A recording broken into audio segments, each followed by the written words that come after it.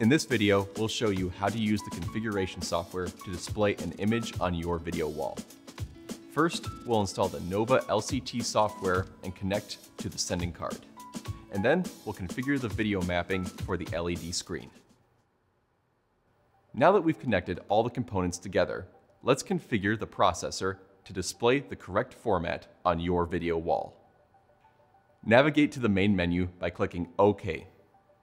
Push and turn the control knob to navigate to Output Settings, Output Resolution, then Custom. Here, you'll input the full resolution and frame rate of your video wall. For this P3.9 setup, each panel has a resolution of 128 by 128 pixels. These LED panels are constructed in a grid of 6 by 4, giving our video wall a full resolution of 768 by 512. Set your wall's resolution in the menu, along with the desired frame rate. Select Apply Settings to save these settings. To save this configuration, hit the Save button on the video processor and save the configuration to Preset 1. The Nova LCT software can be downloaded from the link in the description or by visiting the NovaStar official website. Install the software to the Control PC and verify that you have the USB cable connected to the sending card. Also, check that you have an input source, like HDMI, connected to the video processor. Begin by opening the Nova LCT software. We can configure the screen settings by navigating to User, Advanced, and log in using the password admin. Now, navigate to the screen configuration page. Here, we'll connect to the sending card by choosing an option from this list. If you do not see a COM connection in this list, then you do not have a good USB connection to the sending card. Select the factory reset button and click Save to restore the sending card to its defaults. The receiving card tab will contain information about the LED panel receiving cards. This should be set properly already and does not require any configuration.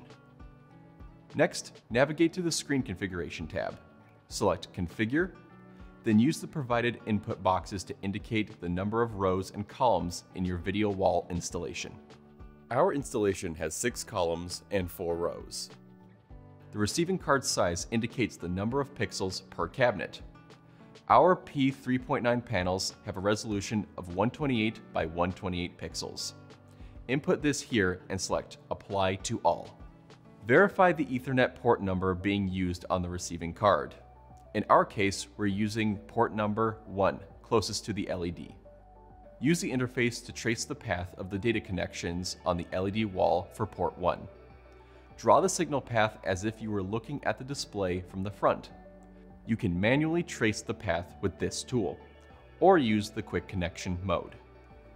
Once you've selected the path that connects your LED panels together, select the Send to Hardware button to update the receiving cards. Save your configuration so it is recalled each time the video wall is powered on.